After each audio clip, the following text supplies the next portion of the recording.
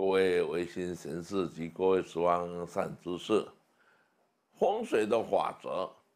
不外乎左手青龙，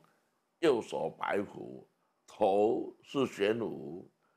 脚是朱雀，胸口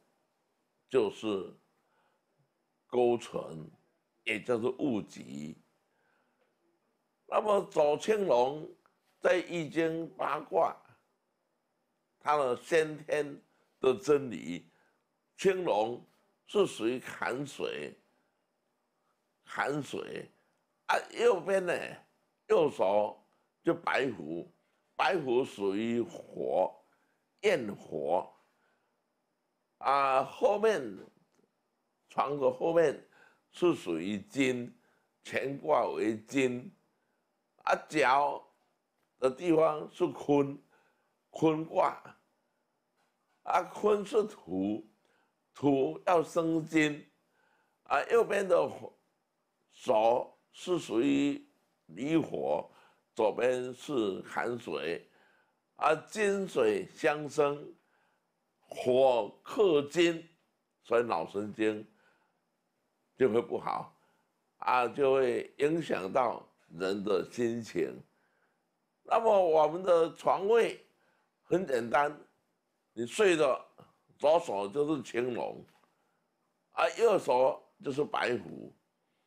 啊我们的床最好就是尽量左手靠墙，墙是属于坎卦，是属于水，啊，水要高，水要动，那才能够和脑神经啊产生相生。一相生的话，产生智慧，啊，心平气和。若是右手你靠墙的话，右手是属于火，火克金，哇，那那个夫妻吵架吵不完，啊，或是呃夫妻之间的感情也说不出来的感觉，原来感情很好，到最后来。不知道什么原因，啊不吵吵闹闹，啊这个都是住家风水的问题呀，啊不是在于个人的修为和没有修为，啊有修行的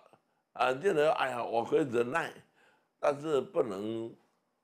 一直忍，忍忍到最后会爆发，一爆发。不可收拾啊！所以我们常常去为人看自家风水啊，床位一定要注意，龙边青龙方要靠墙啊，白虎方离墙远一点，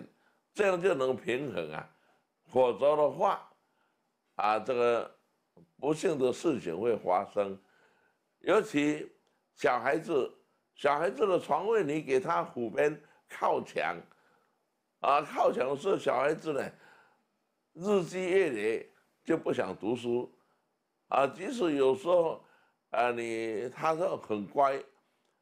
有时候也是会遇到一些不好的朋友，啊，会遇到一些呃带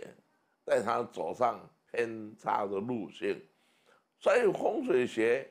啊，这个是上圣的心法，啊，这个不是你所说的说，哎呀，这迷信呐，啊，迷信就是没有智慧的才叫做迷信，你懂得真理的，就是正信，所以我们自己能够保护自己，不伤害他人，就是从我们的床位啊来做起。尤其新婚新婚这个洞房啊，他的床位哎，尽量不要靠右边的墙，靠右边的墙呢啊，很容易呼呼吸莫名其妙的心浮气躁啊，到最后弄成不可收拾，这个是大家要注意。